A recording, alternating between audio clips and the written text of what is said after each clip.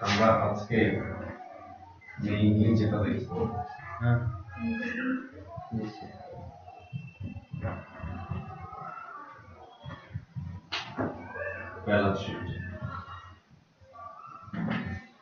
আমি যে ওয়ার্ডগুলো না হ্যাঁ? কারণ অনেক কিছু লেখা possible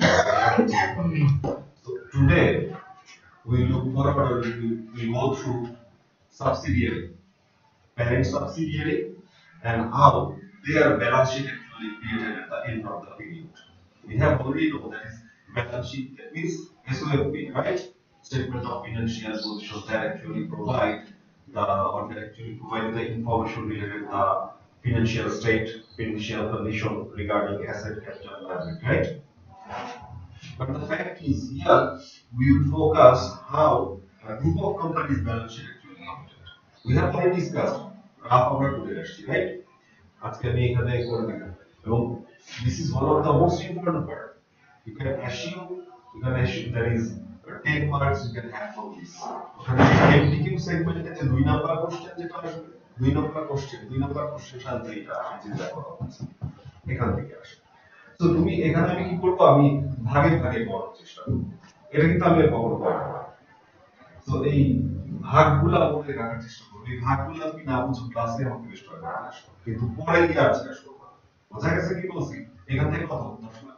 So to me, make yourself clear that is you you are going to get time from these তো আসুন আমরা কি করব? কনসোলিডেট ব্যালেন্স শিটে উপরটা ফেলি। আমরা ফার্স্টে কি করবো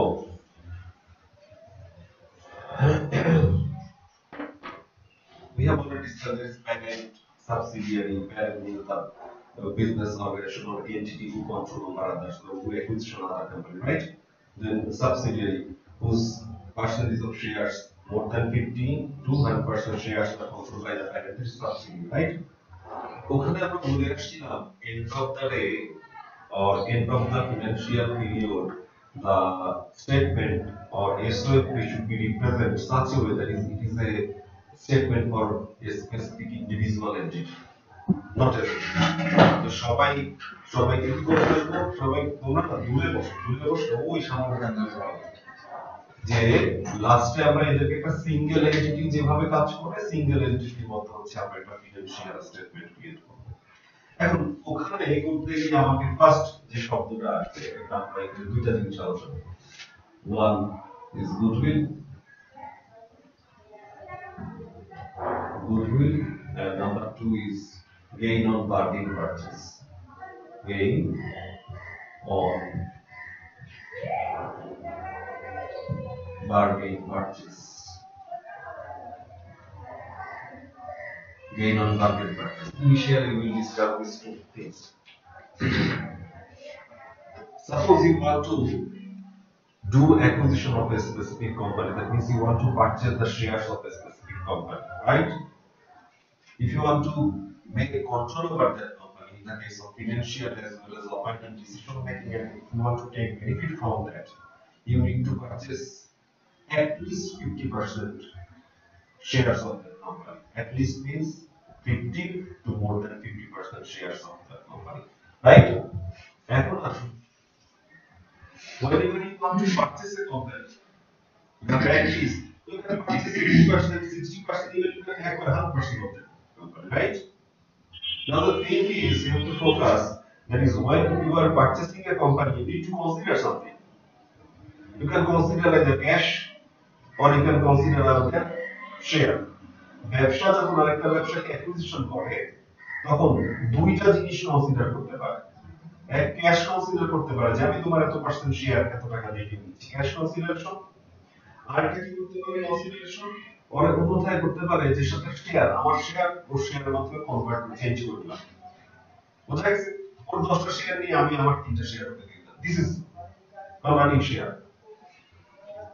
এখন the business need to consider something আমরা আমাদের বোঝার সুবিধার জন্য তোমাদের যে সিলেবাস আছে তার সময় ক্যাশ দিয়ে বুঝতেই হবে পরবর্তীতে আমরা ইলাবোরেটলি আলোচনা করব So ধরে নেই যে the case of acquisition of a company we will consider cash আমরা কিনতে যাচ্ছি টাকা দিয়ে করতেছি right the important thing is whenever you need to provide cash to acquisition or to have the acquisition of a specific company it doesn't mean that you have to provide cash. Only the fair valuation or only the valuation of the asset you are going to acquire. যতটুকু asset তুমি acquire করতে যাচ্ছ suppose তুমি টেবিলের দাম দশ টাকা দশ টাকা দিয়ে তোমার রাইট কিন্তু টেবিলে কি আমরা একটা ব্র্যান্ড নাম লিখে দিলাম। একটা ঐতিহাসিক মূল্য থাকতে টেবিলের নর্মাল মূল্য থেকে ঐতিহাসিক একটা মূল্য থাকতে পারে ঠিক ব্র্যান্ড ইমেজ এর একটা মূল্য আছে গুডউইল মার্কেটে আমি অলরেডি অনেক বছর পড়াচ্ছি সো একটা গুডউইল এগুলো যদি তুমি করে করতে পারো ওগুলোর জন্য তোমাকে পে করতে হবে that means if you want to purchase a company you have to pay both for the asset you are going to acquisition take the acquisition of that and you have to provide money for the goodwill that the company has তাহলে নিশ্চয়ই ওখানে বেশি টাকা দিতে হচ্ছে এক হচ্ছে বেশি টাকা আর কোনো কোনো ক্ষেত্রে কম টাকা দিতে হচ্ছে তাহলে ফার্স্টে আসা how we get In calculating both these two things, we will go for a structure. What about this? We will go for a structure. In the structure, fair value of consideration.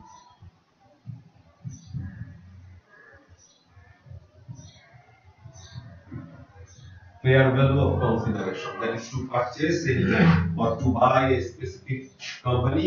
You have to consider some specific amount of cash. আমরা বোঝার সুবিধার জন্য ধরে নিচ্ছি আমরা শুধু consider কি করতেছি ক্যাশ করতেছি রাইট আচ্ছা দেন fair value of non-controlling interest we have already discussed you can buy 100% of a company or you can buy 50% of a company 60% of a company suppose you buy 60% of a company 40% is still on the hand of that individual company. Then 40% you do not have any control over that. That is called non-controlling interest, right? So fair value of consideration, fair value of non-controlling interest, this is to be added, right? Then এর সাথে আমরা compare করব less less fair value of net asset, net net asset. Net asset. This should be compared. Now the thing is, this net asset, either you guys can provide a net asset as a whole amount, numerical value will be there. Here's the composite. না দিয়ে কি ভেবে করতে পারে আমরা পরে আসছি না asset equal to capital plus liability পরে আসছি আমরা তাহলে asset minus liability equal to capital এটা করতে হবে অ্যাসেট মাইনাস লায়াবিলিটি এটাকে বলা হয় net asset equal to capital so you need to find out the net asset here right so if net asset is there you can use that amount or you guys will provide an asset as well as liability as well so net asset এর পরিবর্তে আমরা লিখতে পারি or asset minus liability দেয়া থাকে আমি তাই লিখবো তোমাদেরকে অঙ্কে সাধারণত যে group of company and in this segment we always discuss the limited liability company as well as corporation but this is the stock exchange that means we are making capital actually the structure by using the shares and reserves তাহলে এই অঙ্কে বোঝাই যাচ্ছে যে আমরা share আর reserve সবকিছু specific করে দেয়া আমাকে অল্প জিনিস চিন্তা করতে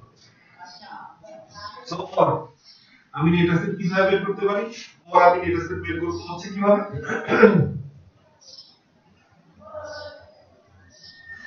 Common share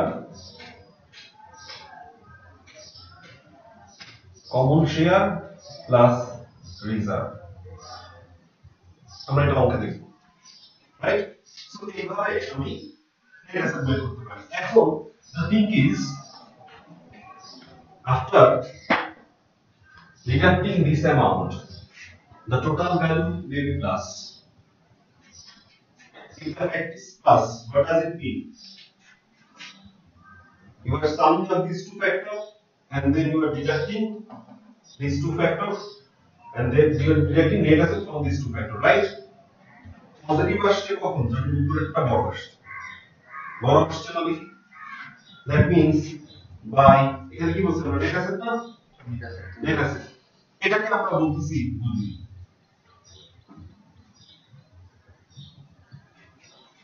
এই রেজাল্টটা নেগেটিভ আসতে পারে। নেগেটিভ যদি আসে ওটাকে আমরা বলতেছি গেইন অন বার্গেন পারচেজ বুঝতে পারল এখন আসো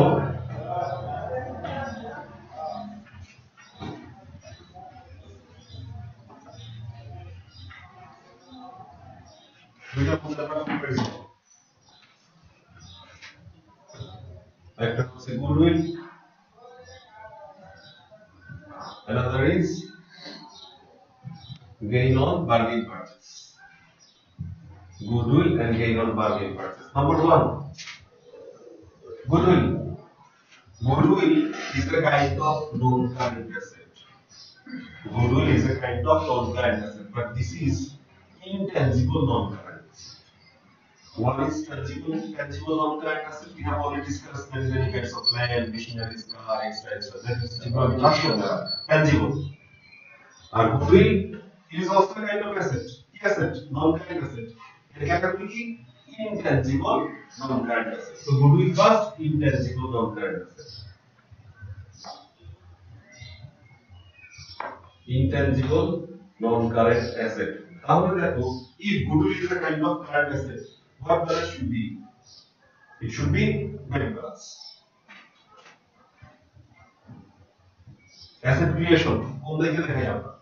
ডেবিট সাইডে দেখাই আর অ্যাসেট কমে গেলে আমরা ক্রেডিট সাইডে দেখাই যখন আমরা তোমাকে জিজ্ঞাসা করব যেটা কোন ব্যালেন্স বাংলা যেটা হবে সেই ব্যালেন্স সবকিছু অ্যাসেট ক্যাপিটাল লায়াবিলিটি ক্যাপিটাল কোন ব্যালেন্স ক্যাপিটাল আমরা কোন সাইডে দেখাই ক্রেডিট সাইডে দেখাই তাহলে যদি জিজ্ঞাসা করি ক্যাপিটাল কোন ব্যালেন্স কি বলবা? ক্রেডিট ব্যালেন্স আমরা ওইটাই ওইভাবে ট্রায়াল ব্যালেন্সে কনভার্ট করব তাহলে as it is a non-current asset so it should be debit balance debit side দেখাবো gain on bargain purchase gain on bargain purchase means whatever the actual amount of the company somehow you can manage yourself to provide less than that তো ছোট্ট একটা example মনে করো suppose তুমি একটা দোকানে ঢুকলা দুইশো টাকা দিয়ে একটা জিনিস কিনবা সেই জিনিসটা কিনতে তোমার একশো সত্তর টাকায় তুমি কিনে ফেলছো তিরিশ টাকা পড়ে গেছে it's kind of gain to you any kinds of gain is recognized as a kind of income any kinds of So আমরা কি করছি gain gain on bargain purchase যে purchase করছি সেখানে some kinds of gain is there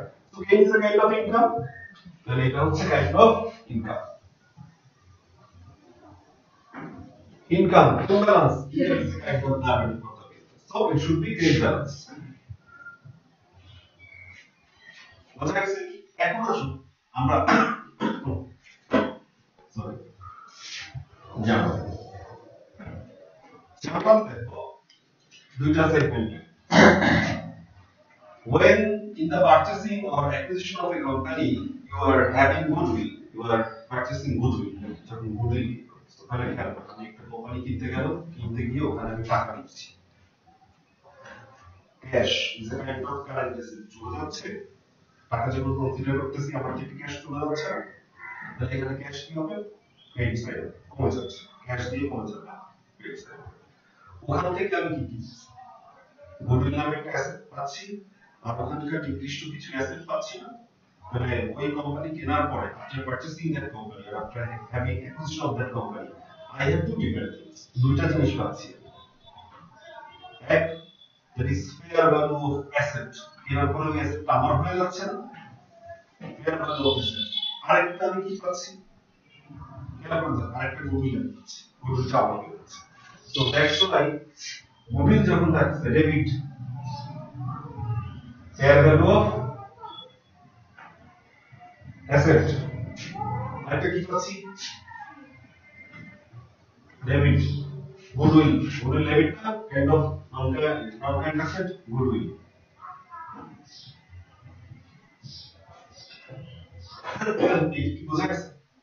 then wherever you are acquiring a specific company or when you are purchasing a company, that means all its liability. However, you can purchase 50%, more than 50%, 100%, right? So there will be a non-controlling interest as well. So all the component is এটা group সবকিছু গ্রুপের মধ্যে চলে আসবে সবকিছু as a group তাহলে আর কি কি জিনিস আছে দেখো credit what about the liability here what the liability as a whole liability কোন সাইডে credit liability liability credit if you do not acquire 100% less than 100% that means there will be some specific kind of non-controlling interest that is non-controlling non-controlling interest non-controlling interest because it is a part of capital liability non-controlling interest capital is R you are considering some amount of cash to purchase that right so cash চলে যাচ্ছে না cash কমে যাচ্ছে decreasing that's why cash এটা কি বোঝা গেছে but when you are the same things in doing the same things there is gain on bargain purchase then it asset তো আসতেছে right asset আসতেছে but there is also a goodwill rather there is gain on bargain purchase that means gain any kind of gain is a kind of income এই যে discussion গুলো বলি কেন বলি discussion গুলো বলি যে তুমি বুঝো এটা তো বইতে পাবা বইতে থেকে এরকম তাহলে gain on bargain purchase gain gain on bargain purchase credit তাহলে এগুলো যা ছিল শর্ত করে চলবো liability non controlling interest credit cash বোঝা গেছে এটা so this is the first part very first part you need to find out either goodwill or gain on bargain purchase depends upon the numerical value you are given in the exam. তোমাকে কোন কোন value দেয়া হচ্ছে? তাহলে এখানে আমরা কোন জিনিসগুলো ইউজ করছি বোঝা গেছে। Fair value of consideration is component there, right? The non controlling interest was there তারপরে কি ছিল? নেট অ্যাসেট নেট অ্যাসেট মানে কি কম্পোনেন্ট আমরা পেয়ে আসছি। যেহেতু এখানে অর্গানাইজেশন আমরা বলে আসছি কর্পোরেট রাইট কর্পোরেট তো এখানে আমরা শেয়ার নিয়ে কথা বলে আসছি, এটা কি বলছি? রিজার্ভ নিয়ে শেয়ার বোঝা গেছে? এখন বুঝতে পারলাম। সো এখানে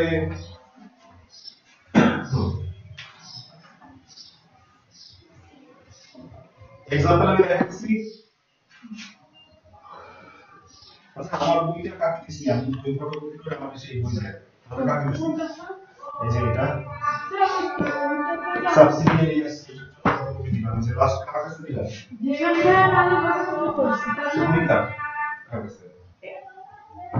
তুমি কার কার কাছে বই নাই কাও না এটা না। আমি আর একটা বই দিছি এই যে জিতে জিতে ক্যারেক্টার আচ্ছা তুমি পড়ে দিচ্ছি আমি শেষ করে দিই হুম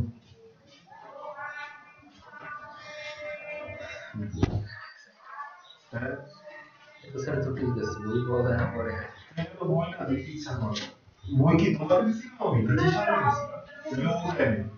ফটোকপি করেছ আচ্ছা ঠিক আছে আচ্ছা এখন আমরা একটা অঙ্ক এটা দেখছি না তো এটা আমরা অঙ্ক দেখলাম আমরা নেক্সট সেগমেন্টে নেক্সট সেগমেন্টে হচ্ছে you guys will be provided a balance sheet part? Part by part sheet তাহলে এরপরে তোমাকে পরীক্ষার হলে কি দেওয়া থাকবে? একটা ব্যালেন্স শিট দেওয়া থাকবে। ব্যালেন্স শিট দেওয়া থাকবে both for the parent as well as subsidiary parent to subsidiary একটা ব্যালেন্স শিট দেওয়া থাকবে তো সেটা করার আগে আমরা একটা জিনিস আরেকটা ইম্পর্টেন্ট শিখব সেটা হচ্ছে intra group transaction intra intra-group transaction. What do you mean by intra-group transaction? After acquisition, there will be a parent company and a subsidiary company, right? Subsidiary may be 100% subsidiary, subsidiary may be less than 100% subsidiary. So whatever the case, there will be a parent, there will be a subsidiary. Both company can make transaction with each other. As for example, our parent company is floor making, uh, floor manufacturer, and subsidiary is the burger manufacturer, right? So subsidiary to manufacture their burger they can buy or purchase flour from parent parent থেকে নিতে পারে right আবার parent can buy burger from subsidiary that means these are the intra-group transaction transaction committed between the groups according to IAS International Accounting Standard intra-group transaction should be omitted in the case of creating the consolidated SOS, SOCI as well as consolidated SOFP. তুমি যখন SOCI করবা consolidate, consolidate মানে কি এখন consolidate বলতে কি বোঝায় that is group of company একত্রে যখন করা হচ্ছে you are যখন group together so এটা মানে in the case of constructing SOCI or SOFP you have to deduct this intra-group transaction তাহলে এখানে কি সাপোজ এখানে পারচেজ হলো 500 টাকা একজনের পারচেজ আরেকজনের সেল না একজনের পারচেজ আরেকজনের sale so when you are constructing purchase and sale এই কোম্পানি আর B company total purchase less group group, যেটা বসে। আবার যখন তুমি করতেছো এসওএফপি সেখানে রিসিভেবল থাকে না A company receivable B company receivable লাস্টের মধ্যে থেকে যোগ করব যোগ করে ওখান থেকে দিব কি? যখন যদি কোনো রিসিভেবল থাকে। আবার পেয়েবল পেয়েবল হচ্ছে দুটো পেয়েবল যোগ করে তো গ্রুপের এক হচ্ছে আসবে টোটাল পেয়েবল আসবে। ওখান থেকে আমরা বাদ দিব কোনটা? ইন্টারগ্রুপ পেয়েবল বাদ দিব। বোঝা গেছে? That means intra-group transaction to be omitted in the case of constructing SOCI as well as SOFP তাহলে আমরা যদি SOFP নিয়ে কাজ করব সো SOFP তে আমরা রিসিভেবল আর পেয়েবল এর ক্ষেত্রে এই জিনিসটা দেখব। যে টোটাল রিসিভেবল থেকে ইন্টারগ্রুপ রিসিভেবল বাদ যাবে টোটাল পেয়েবল থেকে ইন্টারগ্রুপ পেয়েবল বাদ যাবে। বোঝা গেছে? দেন আসো, অঙ্ক যখন দেখব, তার আগে আরও দুইটা জিনিস আমরা এখানে করে নিই তোমরা এর আগে আমি যে রাফ কিছু অঙ্ক দেখাইছি রাইট তো এখানে পরের একটা সেগমেন্ট ইম্পর্টেন্ট সেগমেন্ট আগে শেষ করে নিই দেন হতে পারে unrealized profit in through intergroup transaction there will be unrealized profit in two different segments unrealized profit টা দুইটা জায়গায় হতে পারে যেরকম সিলেবাসে আছে দুইটা ক্ষেত্রে হতে পারে এক হচ্ছে non current asset non current asset আরেকটা হচ্ছে inventory inventory in these two cases there will be unrealized profit ব্যাপারটা কি এর আমি দুটো কথা এই কোম্পানি বিয়ের কাছে 10 টাকা নন কারেন্ট অ্যাসেট বিক্রি করছে কিন্তু পারে কিন্তু তার পিছনে কি গুরুত্ব দশ টাকায়, মনে করো আমি দশ টাকা এই কোম্পানি বিয়ের কাছে দশ টাকা একটা অ্যাসেট বিক্রি করছে। ওই দশ টাকার মধ্যে দুই টাকা লাভ ছিল। আবার ইনভেন্টরি ওই যে ফ্লোরের কথা বললাম। ফ্লোর বললাম না, যে এই কোম্পানি মনে করো বানাচ্ছে ফ্লোর আর বি কোম্পানি ম্যানুফ্যাকচার করছে বার্গার তাহলে বার্গার যখন ফ্লোর কিনতে যাবে, ও কি নরমাল দামে দিবে ওখানে লাভ, সবসময় লাভ, যার কাছে বিক্রি করবে, ব্যবসা মানে লাভ। ও কি করবে ফ্লোরটা সাপোজ 10 টাকার ফ্লোর ওর সাথে 5 টাকা লাভ এড করে ওর কাছে 15 টাকায় বিক্রি করছে। তারপরে 5 টাকা লাভ করছে। ব্যাপারটা এখন এরকম হয়ে গেল না, আমি আমার জিনিস আমার কাছে 5 টাকায় লাভে বিক্রি করলাম। When you are thinking about the group A আর B both are under the group যখন ইন্ডিভিজুয়ালি সেল করছে, তখন তো সেটা profit but when you are thinking as a group গ্রুপের ক্ষেত্রে ব্যাপারটা এরকম যাচ্ছে না যে আমি আমার কাছে আমার জিনিস 5 টাকায় লাভে বিক্রি করলাম তাহলে ওই যে 5 টাকায় লাভে বিক্রি করলাম সেটা কি হবে unrealized that means unrealized profit can be arises or occurred in the case of transaction between subsidiary and parents according to non-current asset or in the case of inventory. তাহলে কি করতে পেরেছি either subsidiary can sell non-current asset or inventory to parent with unrealized profit, or parent can also sell non-current asset or inventory to subsidiary with URP. Parent subsidiary বিক্রি করতে পারে subsidiary প্যারেন্টের কাছে বিক্রি করতে পারে রাইট বোঝা গেছে? যেটা আমরা বলতেছি কি, এই দুটো জিনিস কে করতে পারে? করতে পারে প্যারেন্ট সাবসিডিয়ারি কাছে বিক্রি করতে পারে on the other hand subsidiary প্যারেন্টের কাছে বিক্রি করতে পারে। কিসে উইথ ইউআরপি আনরিয়ালাইজড প্রফিট তো how can treat that unrealised profit আগে তো বলে আসছে রিসোর্সের মেনুর কমাচ্ছি তাহলে how we can treat with that unrealised profit এর সাথে কীভাবে ট্রিট করব এর জিনিস দেখো আমরা একটা একটা সেগমেন্ট শিখব ফার্স্টে আসো ইনভেন্টরি দেখো unrealized profit URP unrealized profit. with inventory inventory unrealized profit with inventory খেয়াল করে দেখো আমরা আগে প্যারেন্ট প্যারেন্ট সাবসিডিয়ারির কাছে বিক্রি করতেছে সাবসিডিয়ারি প্যারেন্টের কাছে বিক্রি করতেছে suppose the fact is here parent is selling some amount of stock or inventory to subsidiary with unrealized profit and here subsidiary is selling some specific inventory with unrealized profit to parent বোঝা গেছে এখন শুধু ছোট্ট example বোঝার জন্য ছোট্ট একটা example নিয়ে কাজ করি ইনভেন্টরি নেট মূল্য ছিল সাপোজ 10 টাকা এর সাথে আনরিয়ালাইজ প্রফিট আনরিয়ালাইজ প্রফিট 2 টাকা অ্যাড করে 12 টাকায় বিক্রি করা হচ্ছে।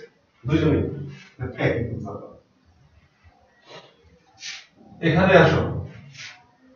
Here parent is selling to subsidiary parent subsidiary কাছে সেল করতেছে রাইট তাহলে সাবসিডিয়ারি যখন তার ইনভেন্টরি লিখছে সেই ইনভেন্টরি মূল্য সে কত লিখছে? 12 টাকা লিখছে না? That means after purchasing from parent, whenever subsidiary is counting his inventory, he is counting his stock according to 12. 12 টাকার ইনভেন্টরি কি তার কাছে আছে? আছে তো 10 টাকা। 2 টাকা তো তার এক্সট্রা দিতেছে। বোঝা গেল? তাহলে whenever parent is selling to subsidiary, কার ইনভেন্টরি বেশি দেখাচ্ছে? সাবসিডিয়ারি ইনভেন্টরি বেশি দেখাচ্ছে কারণ ওটার সাথে আনরিয়ালাইজ প্রফিট যুক্ত আছে। প্রফিটটা কার কাছে আছে? হ্যাঁ প্রফিট তাহলে এখানে দেখো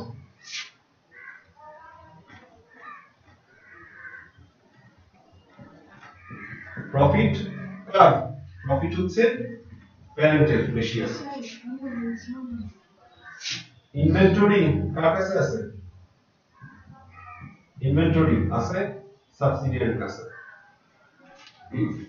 দশ টাকার stock the stock value is 10 টাকা whenever parent sell this 10 টাকা stock to subsidiary adding 2 টাকা URP and total হচ্ছে 12 টাকা 12 টাকা so this transaction is committed profit কে করছে parent করছে profit parent এর কাছে ইনভেন্টরি কে কিনছে সাবসিডিয়ারি ইনভেন্টরি কার দেখাচ্ছে সাবসিডিয়ারি তাহলে এই দুইজনের ক্ষেত্রে এইটা দুই টাকা বেশি দেখাচ্ছে না which is unrealized profit unrealized profit cannot be absorbed or unrealized unrealized profit cannot be presented in the consolidated balance sheet consolidated balance sheet A unrealized profit দেখা যাবে না তাহলে কি করব কমাতে হবে একজনের ইনভেন্টরি কমবে ইনভেন্টরি না করলে কোন balance stock is a kind of current asset কোন balance debit balance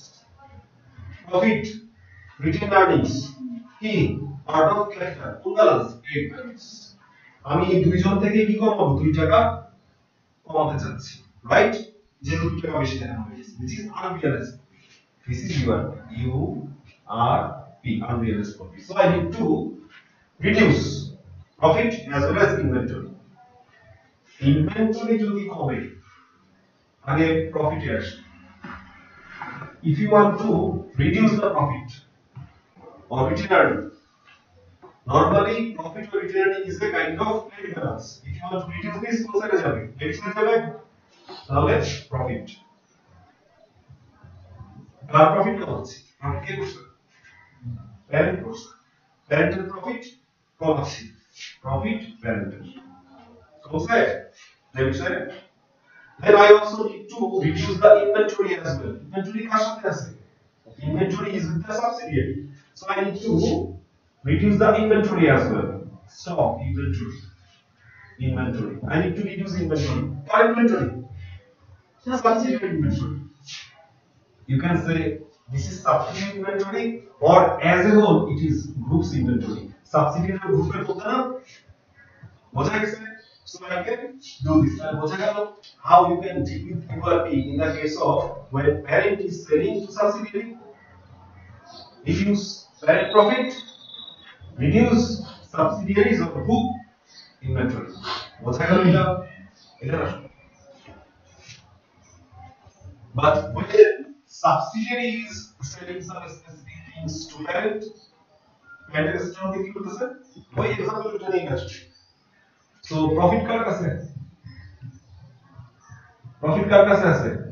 Subsidiary committed the profit right inventory কার কাছে আছে? ইনভেন্টরি কার কাছে আছে? তো ব্যাংকের কাছে আছে। বাজেট আর আমরা একবারে ব্যাংকের কাছে দিয়ে এটাই আমার তো একই জিনিস। এই দুইটা কথা বলতে হবে না? তাহলে কি আসবে? ডেবিট প্রফিট বা রিটেন আর্নিং তোমরা রিটেন আর্নিং বা রিজার্ভ পাবা আর credit inventory now you need to categories profit কার বলছিলাম subsidiary. Subsidiary is the part of car, grouped part. Subsidiary মধ্যে আমরা দেখে আসছি if there is 100% subsidiary, 100% oriented, that is totally groups. Subsidiary Bangla কি? বাংলা তো আমি লিখছি। Subsidiary মানে Subordinate মানে কি? Second person. মানে হচ্ছে মানেই তো Subordinate মানে subordinate। অধীনস্থ, বুঝছ? প্রফিট প্রফিটটা কার ছিল সাবসিডি না সাবসিডি কার আছে under parent subsidy is control by parent যদি 100% ওরিয়েন্টেড হয় তাহলে পুরোটাই গ্রুপের আর আমরা দেখে অন্য ইন্টারেস্ট থাকতে পারে তাহলে এই প্রফিটটা আমরা ভাগ করে দিতে পারি।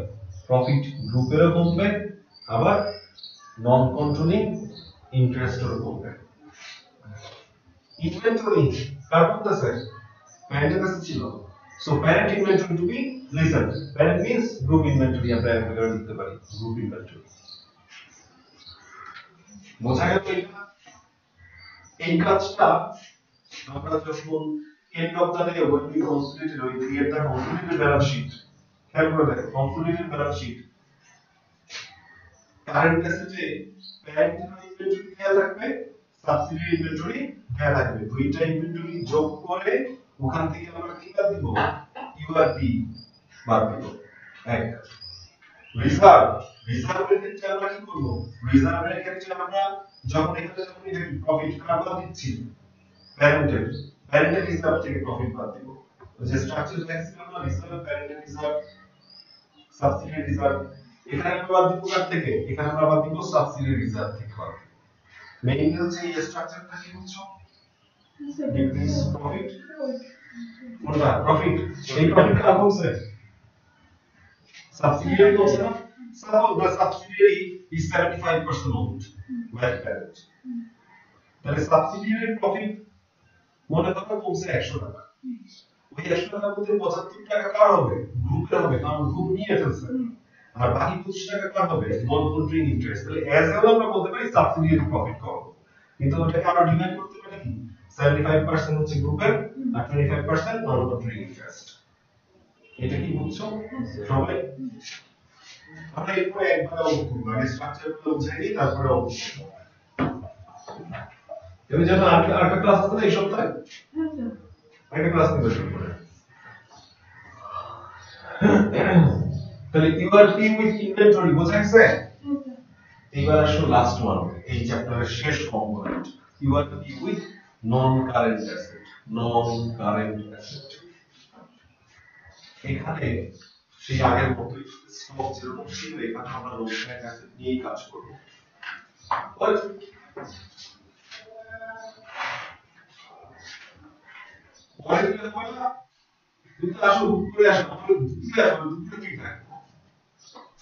আচ্ছা যা মনে করো একটা non current asset non current asset যার মূল্য সাপোজ একশো টাকা, আমরা একটু বড় করে লিখি, একশো টাকা।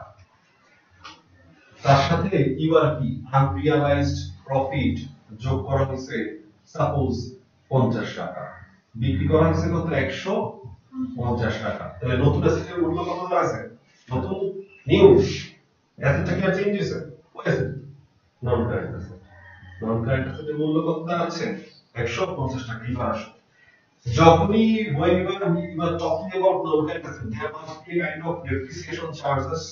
Suppose X for example, depreciation will discuss, depreciation will be ten percent.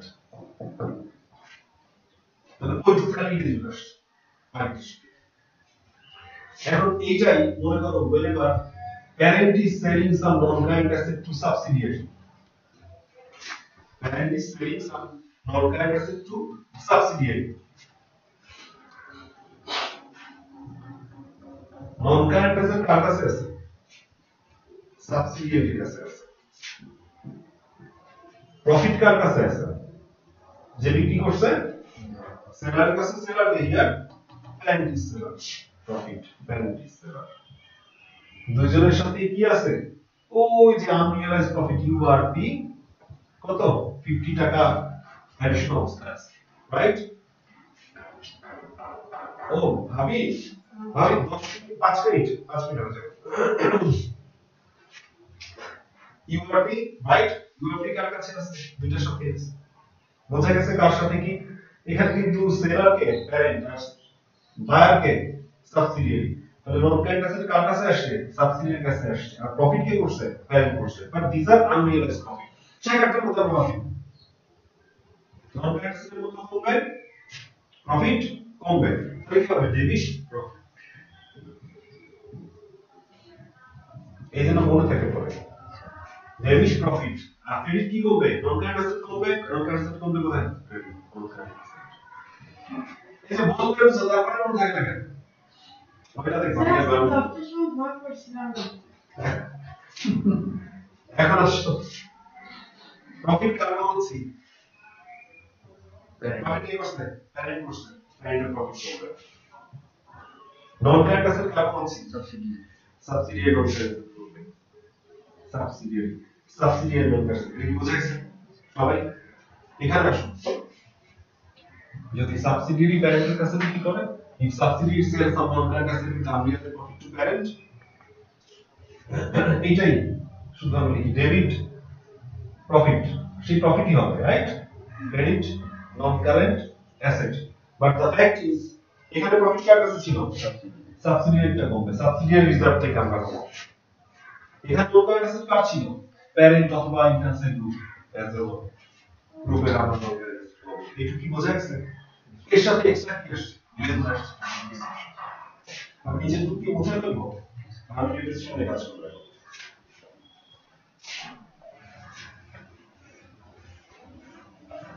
এটা গেল একটা অ্যাডজাস্টমেন্ট এখন আমরা দিয়ে কাজ করব ডেপ্রিসিয়েশন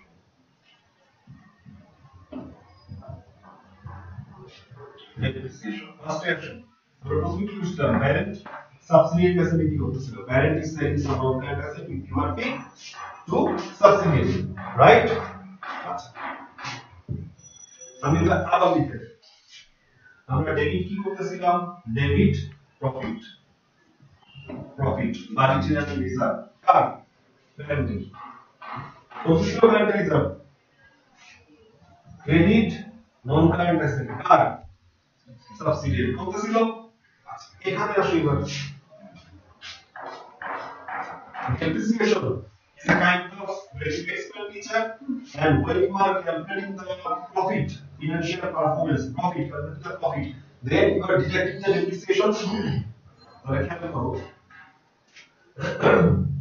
non current asset কার কাছে আছে সাবসিডিয়ারির কাছে আছে তাহলে সাবসিডিয়ারি এখন কাউন্ট করতেছে his non current asset is 150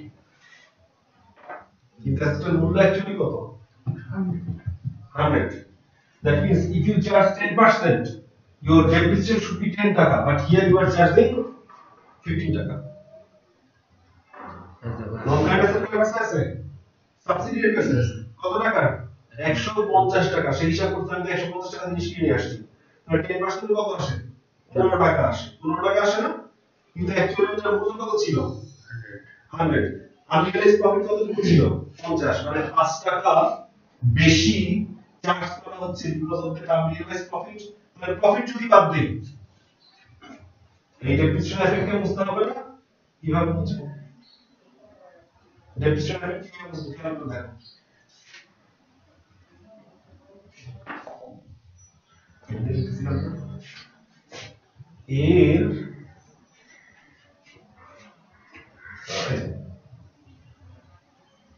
খেয়াল করে দেখো এই যখন আমার প্রফিট করতেছে প্রফিটে কত টাকা করছে ওই যে 5 টাকা কি বলে?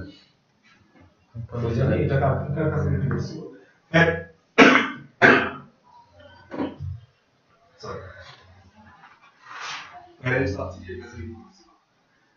সাবসিডিয়ারি কাছে কি হচ্ছে? সাবসিডিয়ারি প্রফিট আমরা বেশি দেখাচ্ছি কত জানো? কারেন্ট অ্যাসেট বেশি দেখাচ্ছিলাম 50 আর এই প্রফিট বেশি দেখাচ্ছিলাম 50 এটা ছিল, ব্যাপারটা এরকম ছিল। এখন একটু খেয়াল করে ডেপ্রিসিয়েশনের ব্যাপারটা হচ্ছে যে সাবসিডিয়ারি কি করছে? সাবসিডিয়ারি তার অ্যাসেট বেশি দেখাচ্ছে বলে তার ঘাড়ে ডেপ্রিসিয়েশন চার্জ বেশি হয়ে গেছে। ডেপ্রিসিয়েশন চার্জ বেশি হয়ে গেছে। ডেপ্রিসিয়েশন চার্জ বেশি হওয়া মানে কি? খেয়াল করো ডেপ্রিসিয়েশন অ্যাকুয়াল ডেপ্রিসিয়েশন কি করে? অ্যাসেটের মূল্য কমে দেয় এখানে নন কারেন্ট অ্যাসেট কি হয়েছে সাবসিডিয়ারি 50 টাকা কি হয়েছে? 5 টাকা হয়েছে যেটা আমরা বলে আসছিলাম যে ডেপ্রিসিয়েশন কত পার্সেন্ট ছিল? এর 10% 5 টাকা ছিল না? 5 ডলার ছিল না? তাহলে আমরা কি করব? 5 ডলার হলে এর ডেপ্রিসিয়েশন 5 ডলার কি হয়ে বেশি চার্জ হচ্ছে বিকজ অফ আনরিয়ালাইজড প্রফিট আর ডেপ্রিসিয়েশন 5 ডলার বেশি চার্জ মানে কি? এর রিজার্ভ এর প্রফিট 5 টাকা কি হয়েছে? কম আসছে। So how can adjust it you can adjust debit R credit. খেয়াল করে দেখো, এর উপরে 5 ডলার নন কারেন্ট অ্যাসেটের ডেপ্রিসিয়েশন বেশি চার্জ হওয়া মানে কি? এর অ্যাসেট 5 ডলার বেশি কম দেখাচ্ছে। তাহলে অতটুকু আমি কি বাড়াই দিব? I will end up that তাহলে নন কারেন্ট অ্যাসেট বাড়বে। ওই কত টাকার 5 টাকা। কার? সাবসিডিয়ারি সাথে এই 5 টাকা ডেপ্রিসিয়েশন এক্সট্রার জন্য এক্সট্রা চার্জের জন্য প্রফিট কি হচ্ছিল? কমে যাচ্ছিল প্রফিট বাড়তে হবে। রিজার্ভ রিজার্ভ কার রিজার্ভ সাবসিডিয়ারি রিজার্ভ এইটু এক্সট্রা আসবে। এই কারণে কাছে কি করতে ম্যানেজ সাবসিডিয়ারি এটা কি বোঝা গেছে? দেন আসো এইটাই যদি ব্যাপারটা এরকম হয় যে subsidiary is selling to parent লেখা হচ্ছে না শেষ। তখন ডেবিট সাবসিডি প্যারেন্ট কাছে বিক্রি করতেছে তাহলে তুমি এখানে কি পাচ্ছিলা নন কারেন্ট অ্যাসেট আর হচ্ছে কি প্রফিট ব্যাপার ছিল? না তাহলে প্রফিট চলতেছিল প্রফিট প্রফিট বা রিজার্ভ কার বলতেছিল? Subsidiary credit non current asset কার বলতেছিল? নন কারেন্ট অ্যাসেট প্যারেন্ট বলতেছিল রাইট এখন আসো। বেশি ছিল, আমরা কমাচ্ছিলাম না এরকম? জি স্যার হচ্ছে তাহলে এবার দেখো নন কারেন্ট কার কাছে ছিল। নন কারেন্ট ব্যাংকের কাছে ছিল না? নন কারেন্ট অ্যাসেট কি? ব্যাংকের কাছে ছিল। আমরা যে অ্যাডজাস্ট করছিলাম। রাইট এখন আসো, এখানে আবার সেই আগের মতো। ডেবিট নন কারেন্ট অ্যাসেট আর ক্রেডিট রিজার্ভ সংখ্যাটা আমি বলে দিই। একশো পঞ্চাশ টাকা নন কারেন্ট অ্যাসেট কার আছে?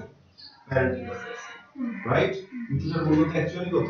একশো টাকা যে কারণে parent weber parent charging ten percent registration কত আসতেছে ফিফটিন টাকা রাদার টেন টাকা। টেন টাকা হওয়ার কথা ছিল ফিফটিন টাকা চার্জ করতেছে। তাহলে ফিফটিন টাকা চার্জ করা মানে এ তার নন কারেন্ট অ্যাসেট হচ্ছে পাঁচ টাকা কি করতেছে। বেশি কমাচ্ছিল যে কারণে আমি নন কারেন্ট যোগ করে দিলাম।